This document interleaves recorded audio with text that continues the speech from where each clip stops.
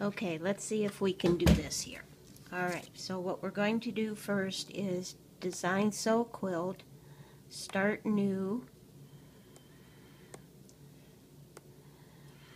pantograph, enter manually. Your table runner was 24 by 24, but we're going to add, put 60 for the width, 60 for the length, continue, finished. I went to Patterns by Helen.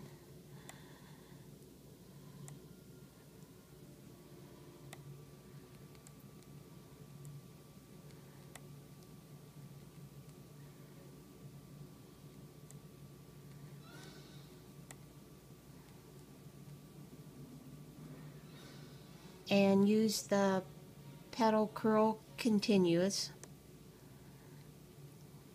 continue even rows continue I put the row height at say four and a half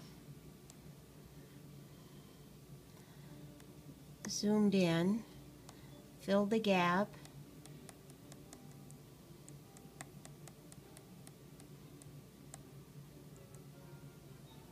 finished.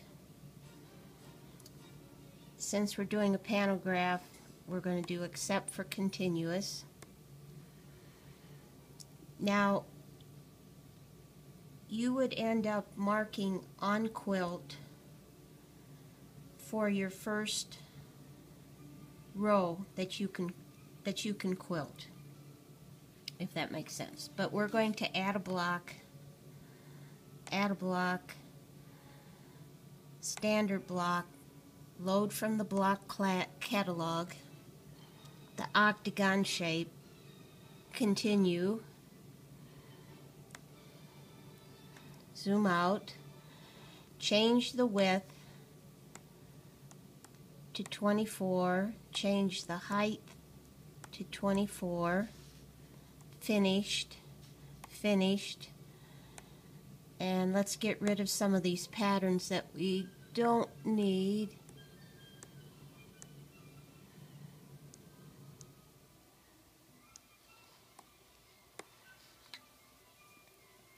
Finished. Um, now we're going to modify the block, the octagon, so you can continue move, and see now you can move, you've got a big pantograph, so you can move so whatever looks pleasing to you. Let's see, we've got one, two, three, four, maybe move it up just a little bit more.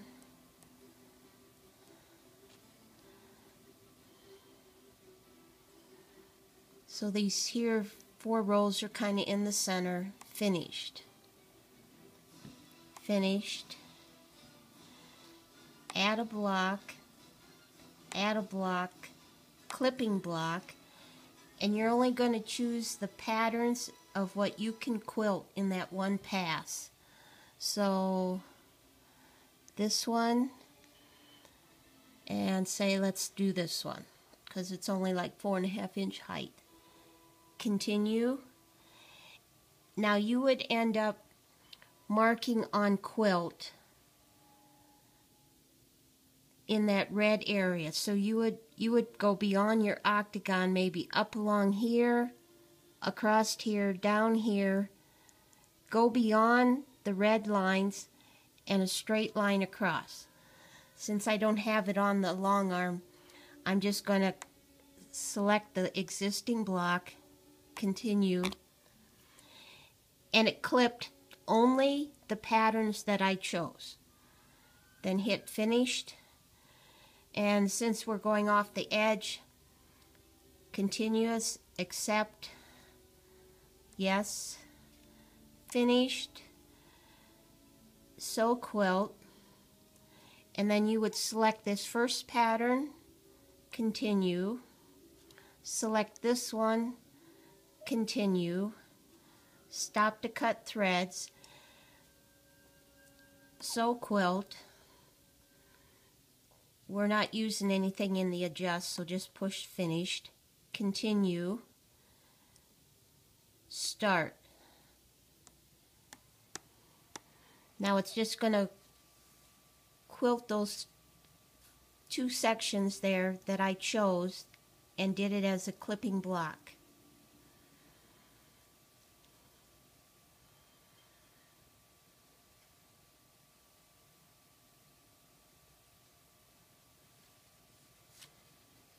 Guess we can speed this up a little bit. It's at the end. You stop to cut threads, move over to row 2, hit start, and quilt it. Now what you can do is put it in preview mode and see what it looks like.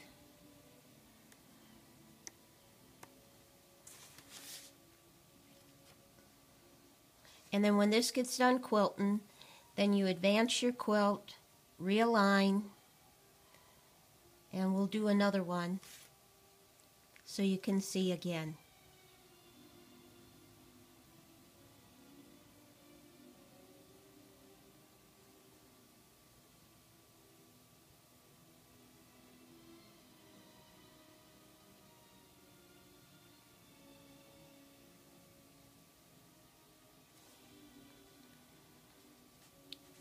Okay, let's get rid of this, this one up here too.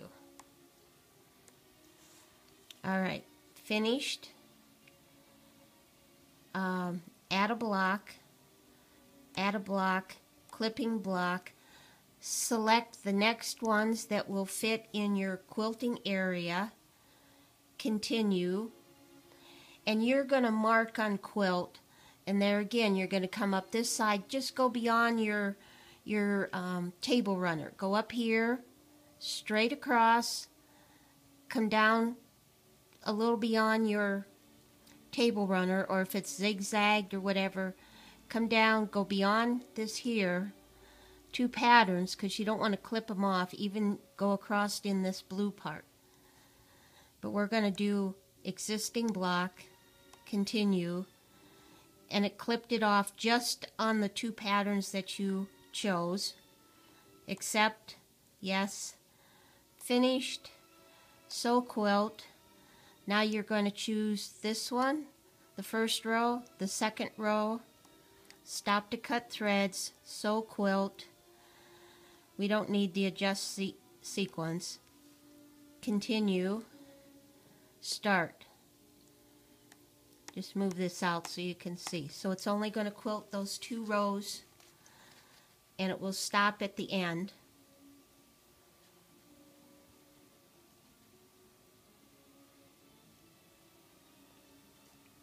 And then when these two rows are quilted, then you advance it, and then you'll do the same thing again for the next rows um, of the panto that will fit in your area to quilt. So I hope this helps you out a little bit. We won't go through the whole thing, but this one would quilt too.